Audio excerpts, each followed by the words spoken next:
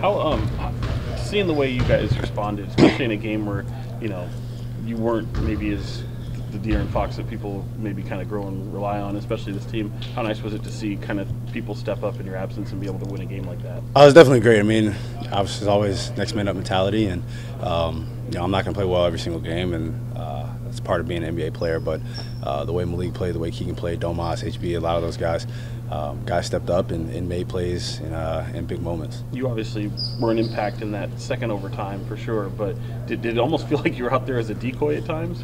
Um, yeah, I mean, at times, because regardless of how I'm playing, I still garner some attention. So um, for me, I just wanted to try to affect the game and you know be able to get a stop here or there and uh, just try to affect the game without without scoring the ball. What did you make of just Malik and his his blow up game? That it was a little bit like that Clipper game. Yeah, I mean, he was big for us. Um, rather if he was putting the ball in the basket or if he was playmaking, uh, getting guys open shots. Um, he, he did a lot for us throughout the entire game, not just down the stretch.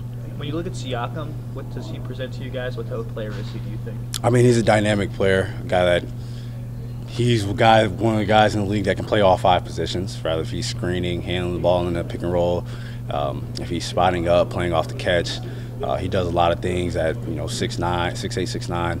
Um, I mean, he's there's reason that he's been an All NBA player. He's you know helped the team win a championship and. Um, also on the defensive end, he's active. He blows things up, gets his hand on the ball.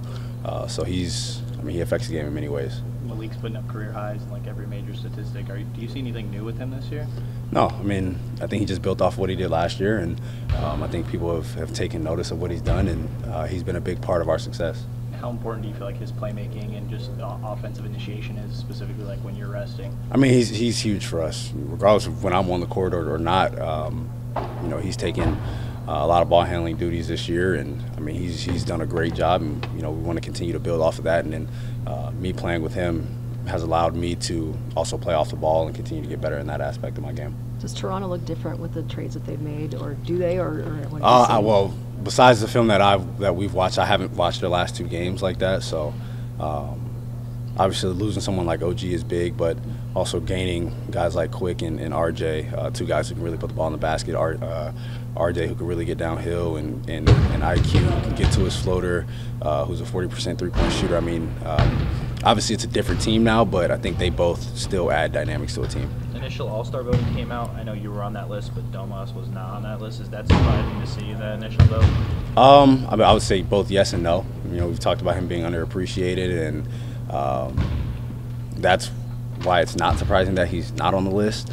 Uh, but it's also surprising because it makes no sense why he shouldn't be on the list for sure. And when you say uh, you're surprised, not surprised by what Monk's doing, but do you think that he deserves more garner recognition on being higher on that Six Man of the Year award? Uh, definitely. Um, obviously, there a lot of people don't pay attention to what we're doing, um, so it is what it is on that, in that aspect. And speaking of that, just how do you feel you, where you guys are right now? It seems like if you know if the, one of these games had gone the other way, uh, you might be having a different feeling as to yeah. right now. I mean, we probably haven't played as well as our record shows, and uh, we probably could also have more wins than we have. So um, there's there's that gray area that I feel like we're in, but uh, we know that we have a lot to to work on uh, to be better. But also, um, you want to learn lessons and wins rather than losing than, than losing. So we could have a worse record. We could also have a better record. So. And, and, to that point, I mean, I don't know if you look at the standings much at this point of the year, but it seems like there's just a lot of teams where you're almost waiting for maybe even yourself have like one of those runs or mm-hmm. kind of separate a little bit from the pack. But it seems like they're kind of a little Jekyll and Hyde for some of these. teams. Yeah, I mean that's the way the West is. You know, I think a lot of teams between like 18 and 21 wins. So yeah. um, at some point you want to be able to separate yourself from the group. Rather you rather it be good than bad. Um, but we have to be you know more consistent with our play.